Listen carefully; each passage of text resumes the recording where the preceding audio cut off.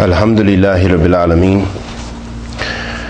وصلى الله وسلم على نبينا محمد وعلى آله وصحبه وسلم ما بعد اللهم لا سهل إلا ما جعلته سهلا وأنت تجعل الحزن إذا شئت سهلا We ask that Allah subhanahu wa ta'ala puts blessing in our sittings and may Allah subhanahu wa ta'ala forgive us of all our sins and bless us with ilm nafiya wa rizqan tayyiba wa amalan mutaqabbilan. Continuing on in our treatise, uh, our explanation of uh, Nawaqid al-Islam by Sheikh Muhammad ibn Abdul Wahhab rahimahullah ta'ala.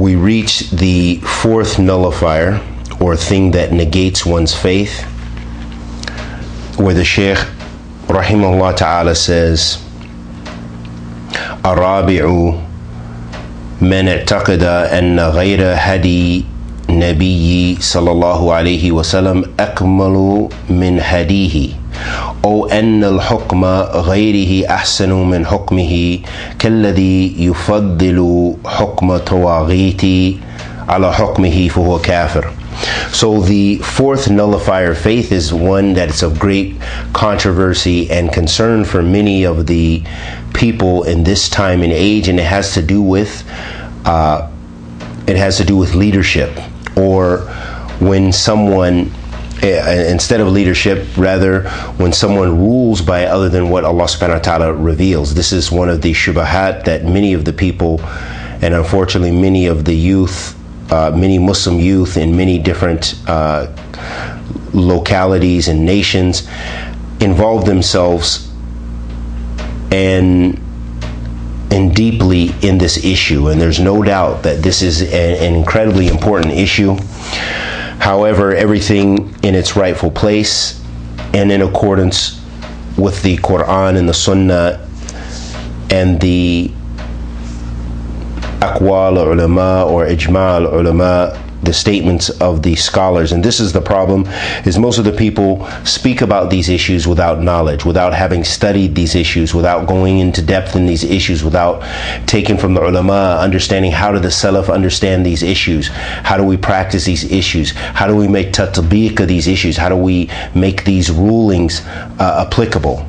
So the fourth nullifier, as the Sheikh mentioned, he said, whoever believes that there is guidance more complete than the Prophet sallallahu alaihi wasallam, or that there is legislation better than his legislation, like the person who prefers the legislation of the Tawaghit over his legislation, is a disbeliever. So this is the fourth nullifier of faith. And as we mentioned in the beginning, the Sheikh Muhammad ibn Abdul Wahhab mentioned the things that were most, uh, the 10 nullifiers of faith that are most were most common during his time that he observed and that they are some of the greatest things that unfortunately uh, people fall into which negate their faith. So he uh, the evidence for this uh, principle is that the one who holds this belief negates the fact that Muhammad sallallahu alaihi wasallam is the messenger of Allah meaning the person who believes that for example democracy or communism or a capitalist system or whatever whether whether it be an economic or a political system or a political philosophy that it is better or equal to what the Prophet sallallahu gave us in guidance and in his authentic sunnah sallallahu alaihi wasallam, then this negates a person's faith. Uh, this negates the fact the person who holds this belief they negate the fact that Muhammad wasallam is the messenger of Allah subhanahu wa ta'ala and that his guidance was the best alayhi salatu because this testimony Muhammad is the messenger of Allah. When we make the testimony of faith includes believing in what he has prophesied and acting and a judging, acting and judging according to his legislation and adhering to his commands and staying away from what he has prohibited and worshiping Allah according to his way. And this is a statement of Sheikh Abdulaziz al-Rajhi, Hafidullah Ta'ala. The guidance of the Prophet sallallahu alaihi wasallam includes his methodology, his minhaj, in propagating Islam. This includes his methodology of teaching and manners and all the actions, sayings, and judgments that he made and left for his nation to follow. And as an aside, Ibn al-Qayyim mentions about uh, ta, uh, the term taghut or tawaghit, which is the plural. Taghut is mufrid, is singular. What tawaghit is plural, gem. So Ibn al-Qayyim says about the meaning of this statement tawaghit, meaning uh, who those people who prefer the legislation of the tawaghit over the legislation over the Prophet ﷺ's legislation are disbelievers. Ibn al-Qayyim says the meaning of taghut is that it entails either worshiping other than Allah or following or believing or being followed to the extent that it transgresses the prescribed boundaries. Sheikh Ahmed al-Najmi, rahimahullah ta'ala, com- comments, so whoever worships other than Allah, the Almighty, has exceeded the bounds of worship. Therefore, it is the responsibility of everything created to be a slave, a slave of Allah, not worshipped, and to worship Allah alone sincerely. So that's an incredibly important statement of uh, Allama Ahmed al-Najmi, where he showed us that the rulership belongs to Allah subhanahu wa ta'ala and that our worship is directed only to Allah, and that we should realize our position as slaves of Allah, not slaves of the kings, not slaves of the presidents, not slaves of the uh, the party leader or what have you, but rather we're slaves of Allah Subhanahu wa Taala, and that as a slave of Allah, a worshiper of Allah, because worship requires hum- being humble, bowing, prostrating to your Lord subhanahu wa ta'ala. There's what could be more humble than that? Crying to Him, supplicating, repenting to Him, begging His forgiveness, begging for guidance, begging for Him to provide for you. This is worship. And this doesn't happen to any of his his, crea- uh, his creatures or his creations. We don't bow before anyone. So anyone who is pleased with being uh, supplicated to, or bowed and humbled uh, that people humble themselves before them, then this person fits the description of Taghut, that they love to be worshipped. They love to be praised to such an extent that it reaches the level of worship. That this is incredibly dangerous, and this is what Ibn al Qayyim made ishara to as far as the Taghut. So the Prophet ﷺ sunnah is revelation and it must be followed as it explains the Quran. And as we mentioned before, the statement of Imam Barbahari, rahimahullah ta'ala, where he says, Al Islam huwa sunnah wa sunnatu hi Islam. That Islam is the sunnah, and the sunnah is Islam. And that you can't have one without the other. Because the sunnah of the Messenger of Allah sallallahu alayhi wasallam, it explains the Quran as Allah subhanahu wa ta'ala mentions about the Prophet wasallam that he he came uh, to that part of his message uh, being uh, a messenger alayhi salatu wasalam and his sunnah is to, was to explain the Quran, to explain those verses in the Quran that are, are general verses, and to give the details on how to practice Islam. Allah subhanahu wa ta'ala says, And he does not speak from his desires.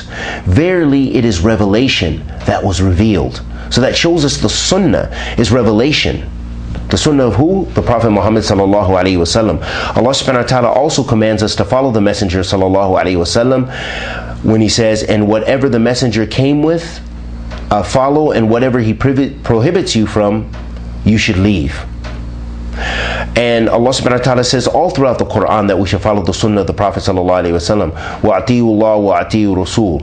And follow Allah and follow His Messenger sallallahu alaihi wasallam many many verses in the quran which show us the importance of following the sunnah of the prophet sallallahu alaihi wasallam what's the relevance here? The relevance here is that we're talking about legislation we're talking about uh, uh, the Islamic practices, the way of the Prophet ﷺ, and that those people who believe that there is a guidance other than his guidance have disbelieved, or that there's a guidance equal to his guidance have disbelieved, or there's there's a guidance that is better than his guidance, or a sunnah better than his sunnah, or a system better than his system, or a legislation better than his legislation, then they have disbelieved. May Allah protect us from that.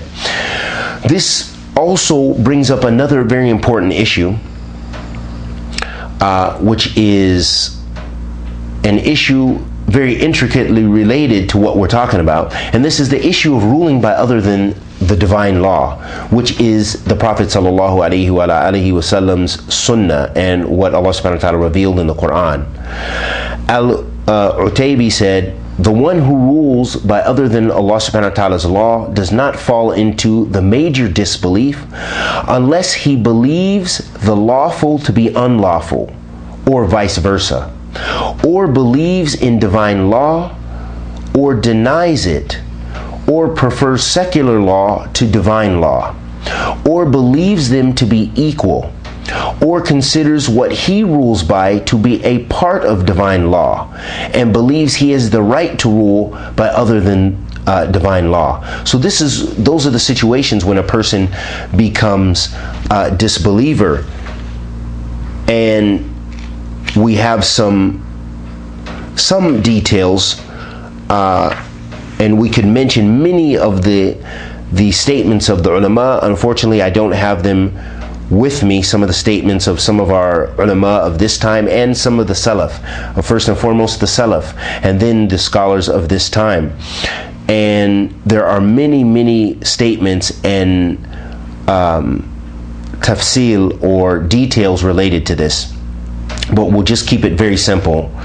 And we mentioned Utaybi's uh, statement, which is very comprehensive. As he said, again, the one who rules by other than Allah's law does not fall into the major disbelief. So that means there's kufr al-akbar or kufr al-asghar, meaning the major kufr which takes a person out of the fold of Islam, and the minor kufr which is a major sin. Nothing we should be happy and pleased. Oh yeah, I've just fallen into the major kufr. Absolutely not. It's a major sin. It can lead you, take you to the hellfire. However, it does not expel a person from the fold of Islam. So when a person rules by other than divine law, it is it entails either one of those two types of disbelief un, un, unless of course uh, there there are other details uh, regarding that but the one who rules by other than Allah subhanahu wa ta'ala's law does not fall into the major disbelief unless he believes the lawful to be unlawful or vice versa. Meaning he makes the lawful things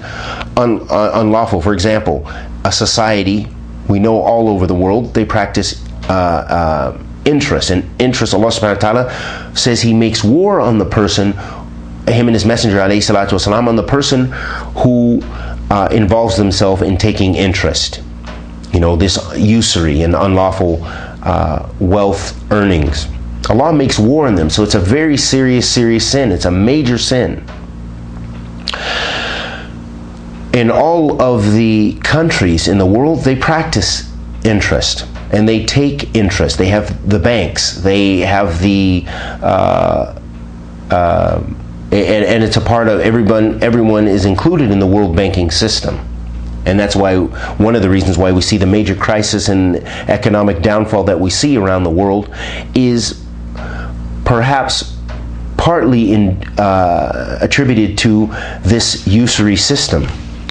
So the when a ruler legislates, makes that an obligation, meaning makes it lawful, says it is okay. We're not saying about allowing it to be practiced in their land. Allowing it to be practiced, this is sinfulness.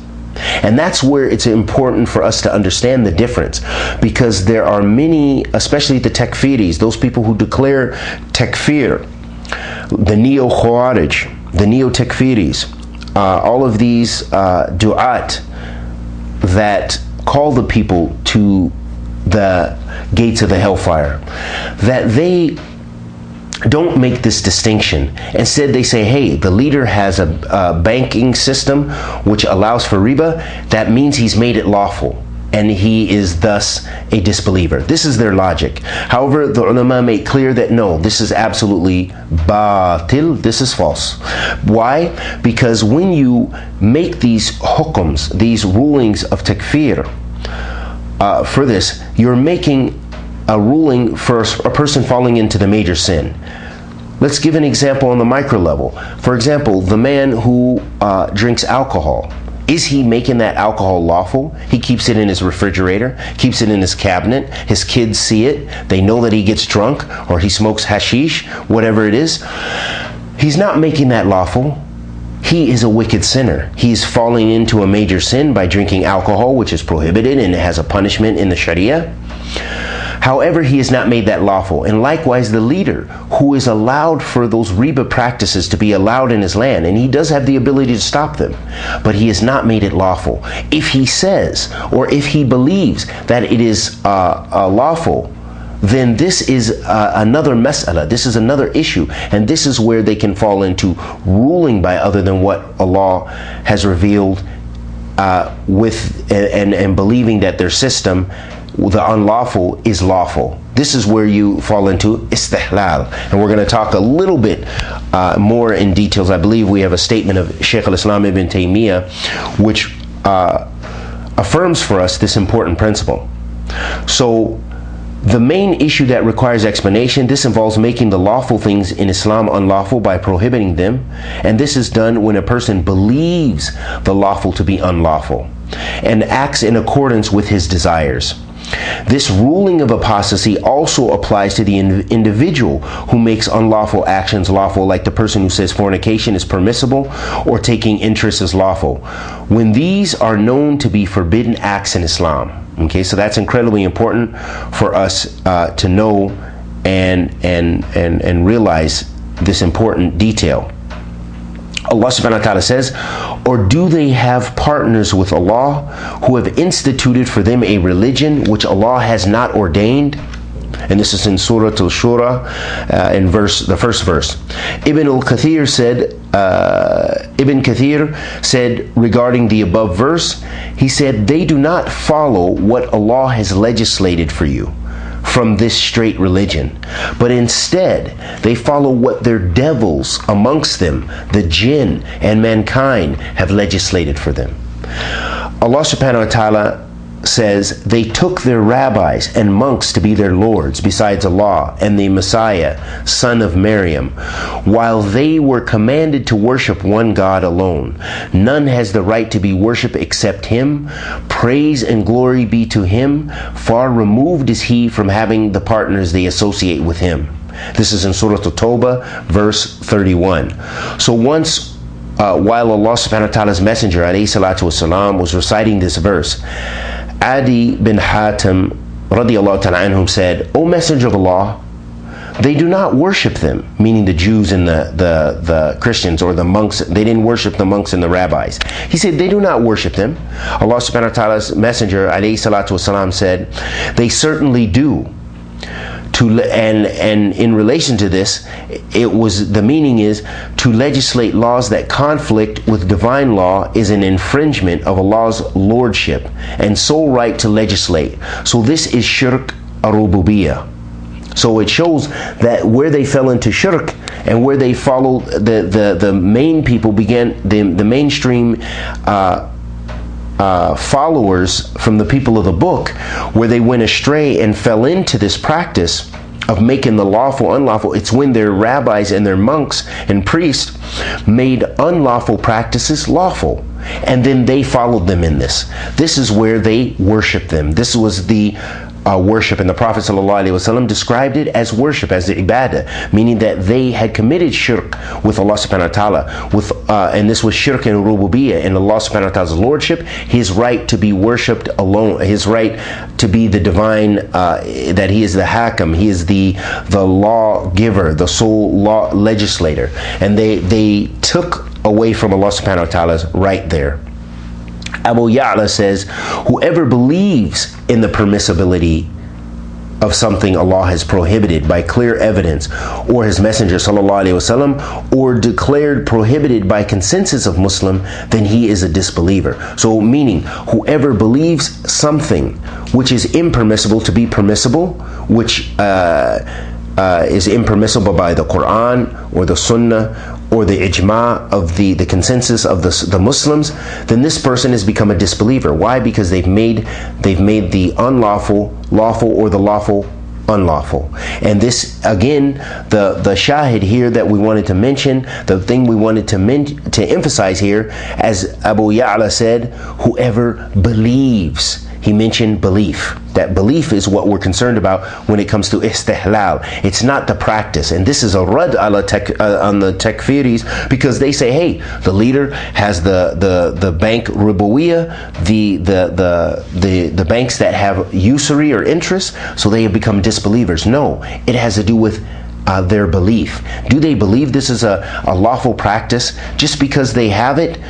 It could be out of weakness. It could be out of the pressure of the world system, which is a weakness as well, or whatever the situation is. But however, this is not making it lawful. And this is an incredibly important detail we have to understand.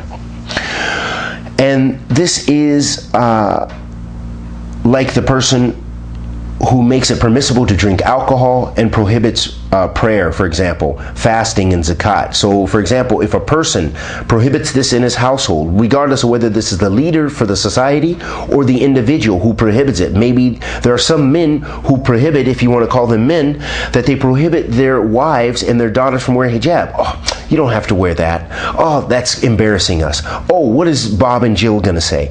Oh, uh, you know that that thing is so hot and it's so, uh, you know, I don't like it. it. It just looks makes you look like this or it makes you look like this. And they actually prohibit their wives and their daughters from wearing the hijab. Or, for example, they prohibit the prayer. I don't want you praying. You're praying too much. Uh, you don't have to fast. You don't have to, uh, you know, do these acts of worship. Then this person is made the uh, the lawful unlawful. They have prohibited these things. And this is a very dangerous practice which is widespread. It sounds funny, it sounds strange, but I'm sure many of us can identify from this who have family members who have Muslim names, but in fact, they may have left the fold of Islam because they prohibit the lawful things. They prohibit the things which are legislated by Allah. Allah is legislating something, but they're saying, nah, nah, nah, nah, nah. We have something else. We have something that's better. We have something that's equal to. We have something that we're going to change for uh, what Allah subhanahu wa ta'ala has decreed. So this is incredibly important. Likewise, a person who believes something to be unlawful that Allah and His Messenger وسلم, have made lawful, permissible by clear textual evidence, or the Muslim community has consensus on, and this includes the individual and the leader.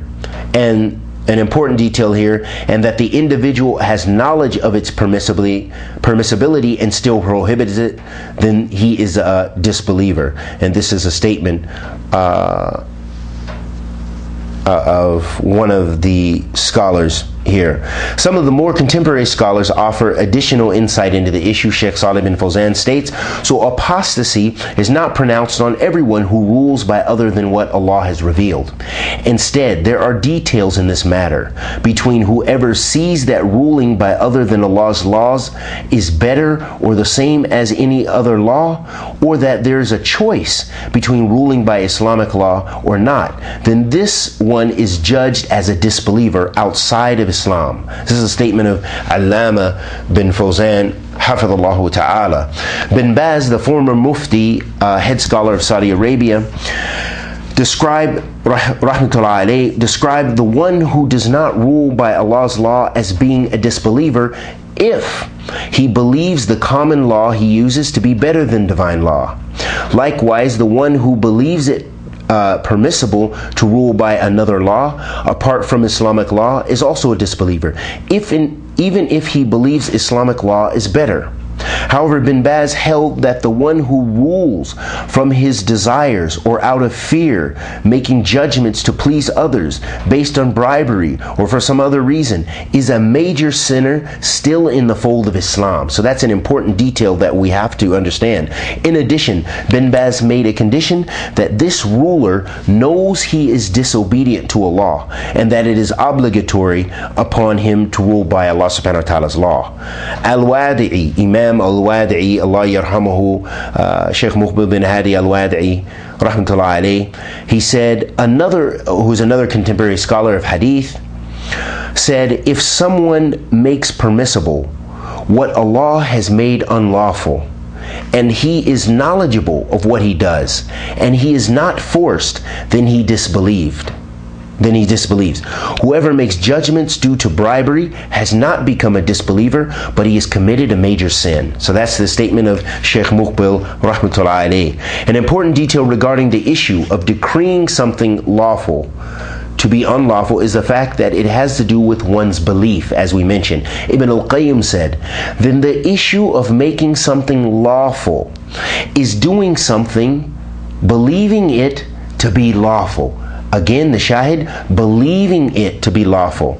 This illustrates the difference between Ahl Sunnah and the Khawarij and the contemporary Takfiris, who believe that recurrent sinfulness is making a transgression permissible. They believe that the more, that if you sin regularly, the person who watches pornography regularly, person who drinks alcohol regularly, person who commits adultery every day, that they have made it permissible. But this is a mistake. This is not the case. Thus, so the, again, let's read this statement statement. Ahl Sunnah, uh, this illustrates the difference between Ahl Sunnah and the Khawarij and the contemporary Takfiris, who believe that recurrent sinfulness is making a transgression, a transgression permissible, thus expelling the one who is persistent in sin from the religion. Al Utaybi said, No one from the early scholars understood repetition of sin to be istihlal. And if they had, they would have established this understanding before us. A beautiful, beautiful statement that needs to be read again. This is the statement of Al Utaybi uh, after looking at the, the, the text of the classical scholars and, and, and in our studies, this is also the conclusion that we've come across and what our ulama have, uh, um, have um, constantly uh, drilled into us. And again, this important distinction between Ahl Sunnah. Ahl Sunnah holds this belief. Al Utaybi said, No one from the early scholars, meaning the Salaf, Salaf Salih, radiallahu ta'ala anhum understood that repetition of sin, meaning to be continually involved in a sin, is making it lawful. So that means, let's let's talk about this. That means a person drinking alcohol. That means a person committing adultery. The person watching pornography. The person uh, uh, smoking weed, smoking hashish, uh, cocaine, whatever they're doing, doing it regularly. That does not make them a disbeliever. That doesn't mean they're doing a major sin. That's incredibly important to realize. Inna Allah la yaghfiru an yushrika bihi wa yaghfiru ma duna dhalika liman yasha. Allah doesn't forgive uh, that you commit shirk. Uh, if you die upon it. But he forgives other than that for whomsoever he pleases, letting us know that the other sins, the other sins, uh, regardless, the major sins or minor sins, they're forgivable by Allah subhanahu wa ta'ala if you die upon it even. And so, the person who does not, who, who, who commits a regular sin, a major sin even, that's regular, or a minor sin that's regular, does not, uh, is not making it lawful, unless they believe, as we the statement of Ibn al-Qayyim, where he said, then the issue of making something lawful is doing something, believing it to be lawful. And the and the shahid here is believing it to be lawful. Uh, and this is the understanding of the Salaf Salih radiallahu ta'ala. And I ask Allah the Almighty to accept our good and forgive our evil. And with that, we've completed the fourth nullifier of Islam in a very brief, with a very brief explanation. And we ask Allah the Almighty to accept our good and forgive our evil. And anything I said that was correct was from Allah subhanahu wa ta'ala. Anything I said that was incorrect was from myself and the shaitan. Wa sallallahu wa sallam ala nabiyyina Muhammad wa ala alihi wa sahbihi wa sallam.